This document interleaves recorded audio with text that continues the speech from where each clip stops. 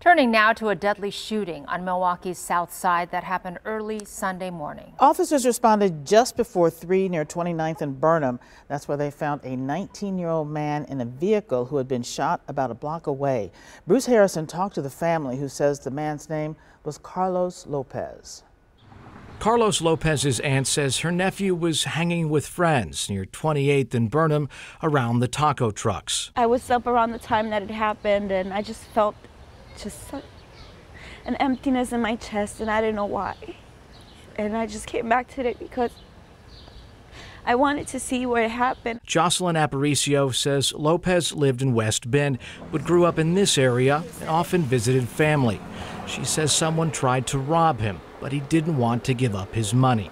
Police also say his death appears to be connected to a robbery. Police say after Lopez had been shot, someone drove him away in a car, but that car didn't get far. It got stuck in construction just down this road. The car got hung up here where police found Lopez, not far from the home of Johnny Smith. It's so sad because I was born and raised here. I've been here all my life.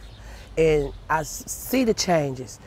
I mean, my years was okay, but it wasn't as bad. It's like they, these kids are 10 times worse. Police say Lopez later died at a hospital, and they've arrested three men, ages 22, 18, and 17. They don't respect people's lives anymore.